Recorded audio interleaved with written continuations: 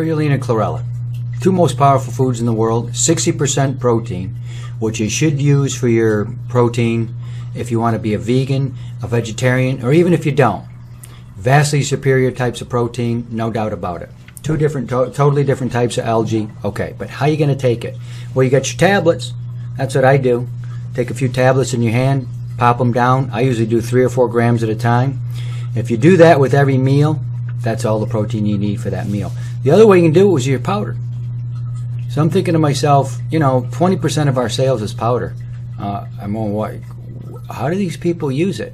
I mean, do they just, you know, take that in their hands and just pop it down like like tablets? Yeah, I, I don't think they do this. I, I, I, I, I'm going to investigate this out. I'll get back. Okay, so that's not it.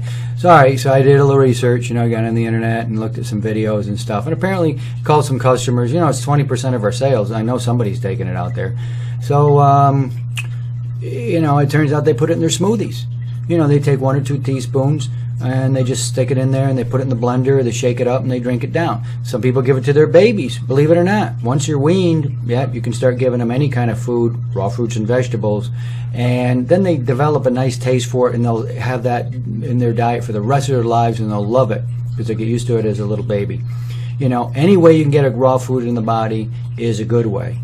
But uh, I like the tablets. You know, thank God for tablets. I pop them down. The powder, no. All right, go ahead.